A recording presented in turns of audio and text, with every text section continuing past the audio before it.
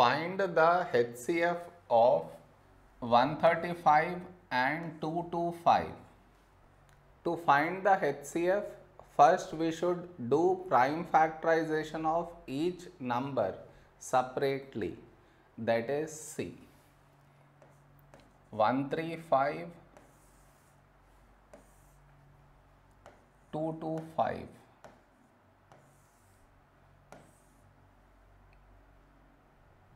Now, for this number, last digit is 5. So, we take here 5. Now, first number is 1. 1 is smaller than 5. So, we take two numbers that is 13. So, a number close to 13 in 5 table is 5 to 10. 13 minus 10 is 3. 3 carried forward making it 35. Now, when do we get 35 in 5 table? 5 sevens 35. Next, here we have 27. 27 is nothing but 3 nines 27. 9 is nothing but 3 threes. 3 is a prime number, so we take 3 and 1. Now, here for this number last digit is 5, so we take 5 here. Now, first number is 2.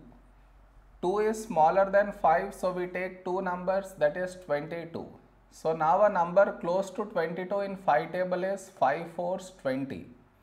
22 minus 20 is 2, 2 carried forward making it 25. Now when do we get 25 in 5 table? 5 5 is 25. Now here last digit is 5 so we take here 5. The number we have here is 45. 5 nines 45. Now 9 is nothing but 3 threes. Now 3 is a prime number so we take 3 and 1.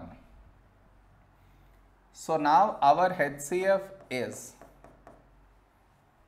HCF is the product of the numbers present here and also here.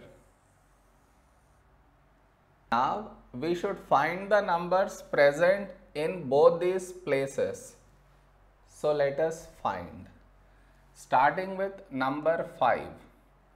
Do we have 5 here? Yes. So cut these 5 and write here. Now next number is 3. Do we have 3 here? Yes. So cut the 3 and write here. Next number is 3. Do we have 3 here? Yes.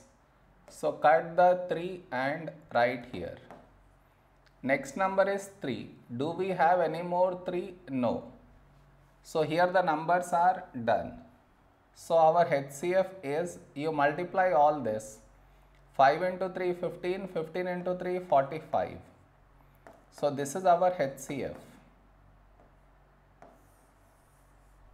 Okay. Am I clear?